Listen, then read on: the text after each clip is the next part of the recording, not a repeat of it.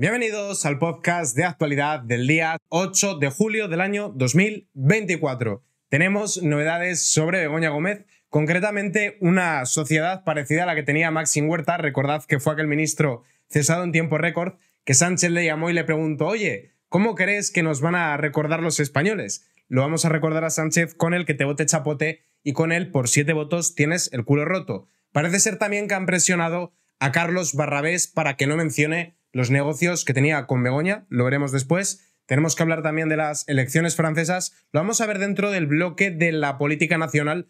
Generalmente estos temas los suelo tratar en el bloque de política internacional, pero habida cuenta de que es un país con el que tenemos frontera, que es un país que forma parte de la OTAN y de la Unión Europea, al igual que España, lo vamos a ver con todo lo demás, como si fuese política nacional. Tenemos también novedades sobre la novedades sobre el caso Tsunami Democratic y cerraremos con una noticia de economía, el vehículo eléctrico que por intentar imponerlo por las bravas, no permitir que sea el mercado quien se encargue de introducirlo, pues ha supuesto un grave daño para la economía europea y la economía española en concreto. Cuenta atrás para Begoña Gómez, debe declarar una sociedad como la que tumbó a Maxim Huerta.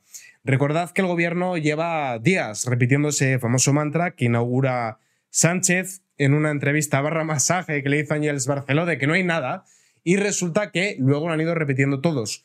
Para no haber nada parece que hay bastantes cosas. Tenemos que se financiaba la actividad de Begoña en el Africa Center a través del Guacalúa del grupo Globalia, mientras se negociaba el rescate a Air Europa, también del grupo Globalia. Begoña se reunía con Hidalgo y con De Aldama, como si no tuviese nada que ver, casualidades de la vida. También se presentaban países como Ghana o Kenia, después de que España aumentase la inversión en estos países para el desarrollo, a cerrar negocios suyos particulares en el Africa Center. Tenemos también los avales a Carlos Barrabés, socio de Begoña en el máster que impartía en la Complutense, para el cual no tenía titulación homologable. Y para cerrar todo este cómputo de escándalos de la mujer de Pedro Sánchez, tenemos que tomó fondos de la Complutense para crear un software que registró en la oficina de patentes a su nombre y también para hacer una página web para su interés particular. Para no ver nada parece que hay bastantes cosas. Seis días duró como ministro de Cultura Maxim Huerta, en el primer gobierno de Sánchez en junio de 2018. El confidencial desveló que Huerta había defraudado a Hacienda 218.322 euros a través de una sociedad creada para pagar menos impuestos. Sánchez, eh, desde su recientísima moción de censura, y para presentarse como Dalí de la ejemplaridad, pues decidió que fuera. El 9 de febrero de 2015, Sánchez aseguró en una entrevista en Telecinco que es inmoral tener el número 3 de tu organización, que ha creado una sociedad interpuesta para tributar la mitad de lo que le correspondería. Irónicamente, Sánchez tiene a su hermano en Portugal para tributar menos, pero no solo eso, es que hay varios políticos del PSOE que han salido en los papeles de Panamá. Yo recuerdo que con la trama de las mordidas de las mascarillas, habían creado un offshore en Luxemburgo también para intentar hacer desaparecer ese dinero y podríamos hablar también perfectamente de esos viajes de los socialistas a República Dominicana, país conocido por el lavado de activos. Continuando, ese, esa persona el día siguiente estaría fuera de mi ejecutiva, dijo Sánchez, en respuesta a un escándalo de Juan Carlos Monedero, que dimitió después de sus cargos de Podemos. Estos estándares se relajaron, ni Pedro Duque ni Nadia Calviño dimitieron cuando se descubrió en septiembre y noviembre de 2018 que habían tenido sociedades de este tipo. El gobierno de Sánchez está cuestionado por la trama Coldo y el propio Sánchez por las acusaciones de corrupción hacia su mujer y su propio hermano. El caso de Begoña, imputada por tráfico de influencias y corrupción en los negocios, tiene además la particularidad de que el pasado noviembre creó una sociedad. Gómez es una profesional que crea una sociedad de la que es única accionista y administradora y que no tiene empleados, con lo cual podemos entender que el fin último de esta mm, sociedad es evadir impuestos. Recordad también que eh, el hermano de Sánchez aumentó su patrimonio de en torno a 200.000 euros a cerca de 2 millones, no llegaba a los 2 millones, creo que era 1,7 si no me falla la memoria, y que Hacienda no inició los protocolos para investigar ese aumento de patrimonio. Digo esto porque si en vuestro entorno tenéis algún familiar o vosotros mismos que tiene una empresa de fontanería, de electricidad, una frutería, peluquería, etcétera, cualquier negocio propio, le habrán hecho ya alguna paralela para intentar sacar dinero donde no hay, te buscan las cosquillas para intentar hablarte, mientras que si tienes padrino, en este caso hermano, pues no te pasa absolutamente nada. Precisamente ahora se celebra la campaña del impuesto sobre sociedades y Gómez tiene para presentar declaración hasta el 25 perdón, de julio. Saca Begoña de la ecuación la llamada del jefe de gabinete de Sánchez a Carlos Barrabés antes de salir la carta de recomendación. Presiones a Carlos Barrabés para no manchar el nombre ya de por sí manchado de Begoña Gómez. Os recuerdo que la mujer del César no solo ha de ser honrada, también ha de parecerlo, y en el caso de, Begoña Gómez no solo es que no lo parece, sino que todo apunta a que no lo es. Óscar López, jefe del gabinete de Sánchez, llamó por teléfono a Carlos Barrabés justo antes de que viera luz la carta de recomendación que le redactó Begoña Gómez. Cabe resaltar aquí, no sé si lo hablarán después en la noticia porque no la he leído completa, que el que era amigo de Carlos Barrabés era precisamente Pedro Sánchez, que lo conocía de ir a esquiar. Recordad que Barrabés tenía una empresa de material de, esquí y es el propio Pedro Sánchez, el propio presidente, el que tenía esa amistad tan profunda con, con Carlos Barrabés. Con lo cual se entiende que esto o fue idea de Sánchez o empleó a, a Begoña como testaferro. También es verdad que el otro día adelantaba a Alfonso Rojo, no sé cuál es su fuente, puede ser que conozca personal que trabaja en, en Moncloa, que parece ser que ha habido varias discusiones entre el matrimonio Sánchez y Begoña. De todas formas, como Alfonso Rojo no aportó alguna prueba, queda un poco en, el terreno de, la rumorología. No sabemos si es verdad o no. Pero según adelantaba para periodista digital Alfonso Rojo, pues parece ser que hay varias discusiones últimamente entre Sánchez y la propia Begoña. El debate desvela que existió esta conversación en la que López pidió sacar de la ecuación a la mujer de Sánchez para evitar que le afectara el escándalo que ha acabado siendo el inicio de la causa judicial. La llamada se produjo la noche del lunes del 1 de abril de 2024. Recordad que en el caso de las mascarillas, que tiene como nexo de unión la figura de De Aldama con el caso de Begoña Gómez, aparentemente tanto María Jesús Montero como Fernando Grande Marlasca conocían de las irregularidades desde el año 2022, es decir, año y medio antes de que se iniciaran de que se hicieran públicas, perdón, las pesquisas, de lo que podemos entender, que probablemente estarían perfectamente al corriente de que se iban a producir las investigaciones a Begoña Gómez antes o después y por ello intentaron presionar a Barrabés para intentar borrar cualquier tipo de vinculación con Begoña. La preocupación en Moncloa hizo que saltaran todas las alarmas. Al día siguiente, el escrito de recomendación vio la luz y comenzó un reguero de revelaciones, muchas de ellas publicadas en el propio medio del debate. Sí, de hecho, yo quiero felicitar al periodista Alejandro Entramasaguas, que ha sido uno de los grandes reveladores de toda esta información. Yo por lo menos siempre lo he empleado como una fuente fiable de información sobre este caso, sobre la mujer de Pedro Sánchez. La carta de recomendación también la incluyen. Recordad que eh, hay una parte de, dentro de las licitaciones, hay una parte del concurso que queda bajo el criterio subjetivo y que Carlos Barrabés estaría obteniendo esos concursos públicos gracias al baremo subjetivo y gracias a ese aval de la propia Begoña Gómez.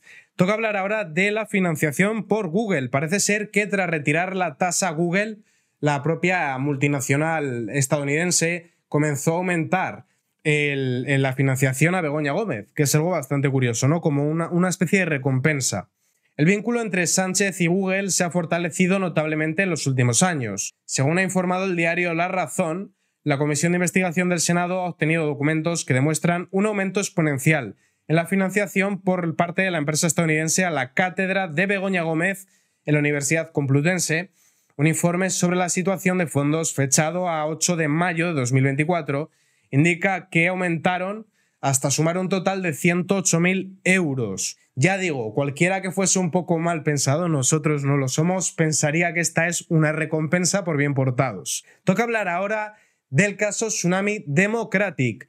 Acordaos de que en todo el caso de la amnistía hubo una ruptura entre el fiscal general del Estado, Álvaro García Ortiz, quien por cierto ha confesado eh, que ha cometido delitos como filtrar información, y los fiscales que instruyeron la causa de Tsunami Democratic, y también que hubo presiones por parte del Tribunal Constitucional de Conde Pumpido, asaltado por el Partido Socialista, para amnistiar a todo el mundo.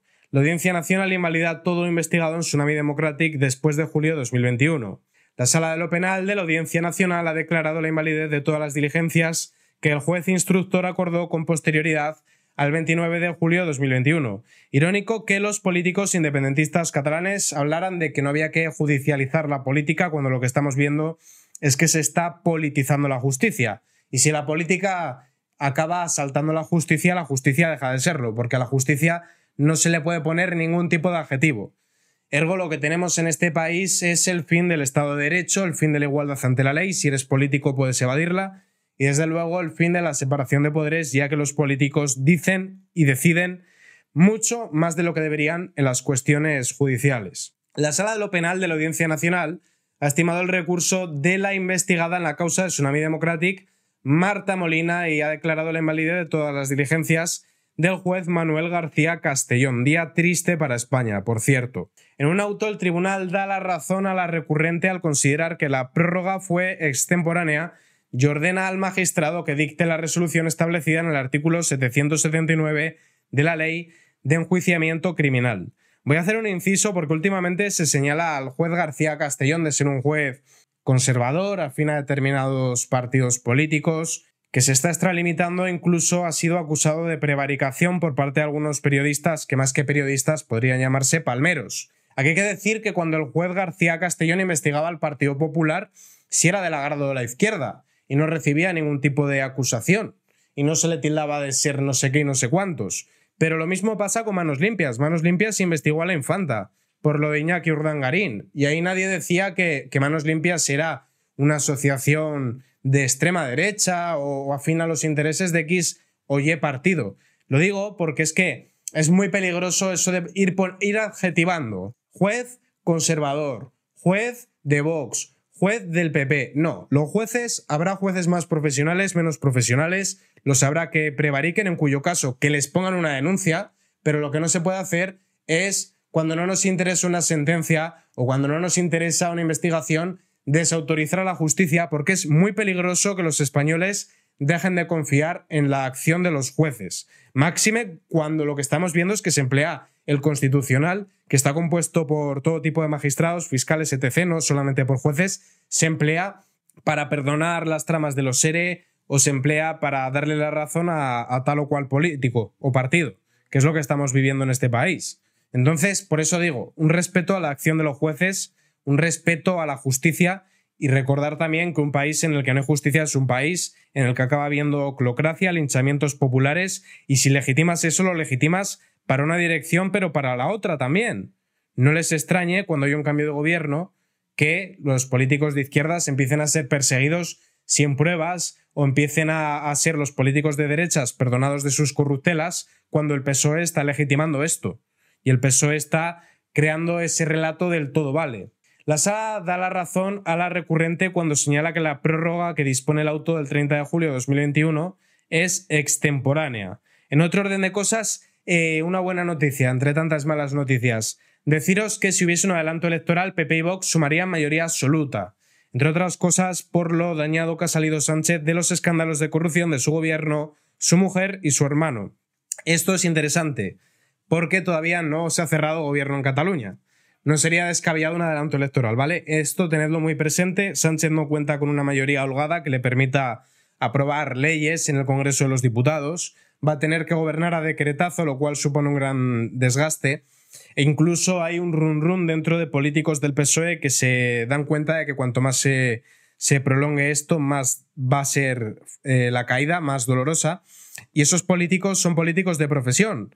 No quieren trabajar en el sector privado y temen perder sus escaños o pierden perder o temen, pues eso, no, no gozar del dinero de las comisiones de investigación y todas esas cositas. Entonces, dentro del PSOE son los máximos interesados en quitar de medio a Sánchez recomponerse en la oposición y volver con otro líder diferente. Las formaciones de Fejoya Bascal se situarían en torno a los 179 escaños, mientras que los socialistas, pese a perder casi, casi medio millón de votos, resistirían a costa del derrumbe de Sumar. En otro orden de cosas, toca hablar ahora de Francia, el país vecino. Los republicanos, el equivalente al Partido Popular, manifiestan que la decisión de no apoyar una alianza con Agrupación Nacional fue la correcta.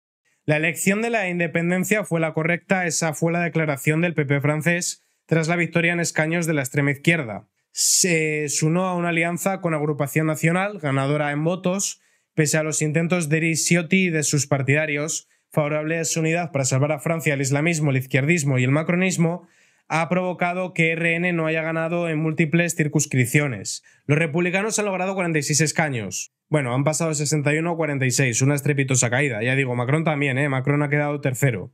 Lo que le interesa a Le Pen es las presidenciales. Las presidenciales son, si no recuerdo mal, en el año 2025.